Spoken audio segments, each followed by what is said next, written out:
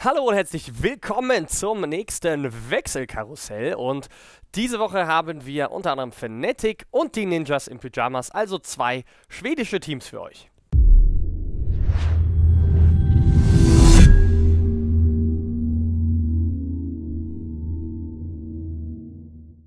Ja, wir fangen an mit Fnatic. Da ist ja zuletzt äh, Lekro gegangen und Crims dafür gekommen. Also man hat sich da nochmal verstärkt. Jetzt dürfte auch Venten gehen.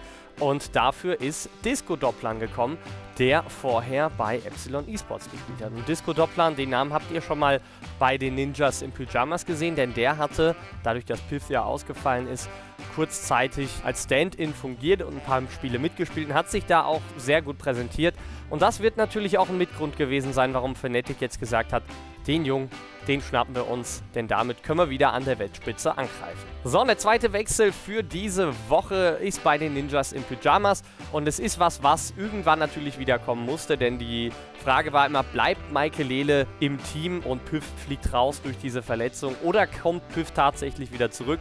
Und es ist so gekommen, dass er wieder zurück ist. Michael Lele verlässt das Team. In einem kurzen Statement bedankt man sich für die Zeit, in der er ausgeholfen hat. Und ähm, ja, Püff ist wieder mit an Bord. Der hat Bock, hat auch schon im Statement gesagt, dass er, äh, dass er halt äh, ja, unruhig geworden ist, wenn er die Spiele gesehen hat, dass er unbedingt helfen wollte. Und ich glaube, das kann jeder nachvollziehen. Äh, das ist einfach blöd, wenn man draußen sitzt und sieht, wie das Team gerade am Verlieren ist.